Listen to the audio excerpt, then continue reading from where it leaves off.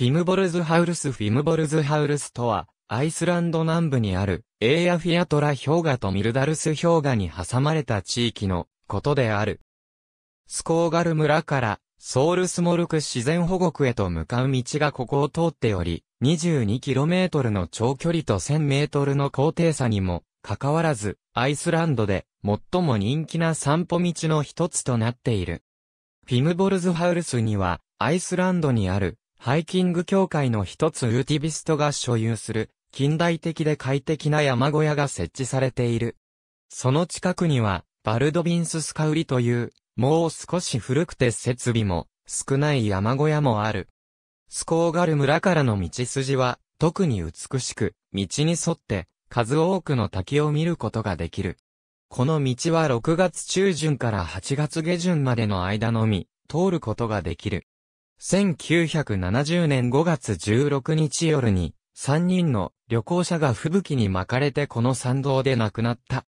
フィムボルズハウルス道からさらに引き続いて、ロイガベーグル道を通り、ソウルスモルクからランドマンナロイガルへと向かうことができる。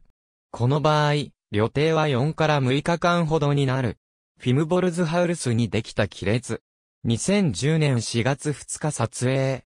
溶岩が流れ出し、雪が溶けて、水蒸気となっている。2010年3月20日、エーヤフィアトラ氷河火山の噴火がフィムボルズハウルスで発生した。何ヶ月にも及ぶエーヤフィアトラ氷河の下の小さな地震の後のことだった。噴火は午後11時前後に始まり、峠道の北部に長さ 0.5km の亀裂が発生した。ちょうど1週間ほど後、フィムボルズハウルスの噴火は長さ300メートルの亀裂を生み出し、新たな噴火口がソウルスモルクへと北進する道で噴火するのが見られた。ソウルスモルクは人気の観光客向け自然保護区であり、このことが火山学者たちがさらに状況を評価する間の観光の一時的な中止を促した。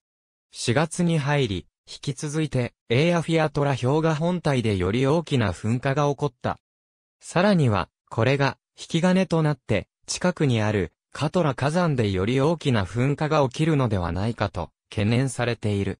ありがとうございます。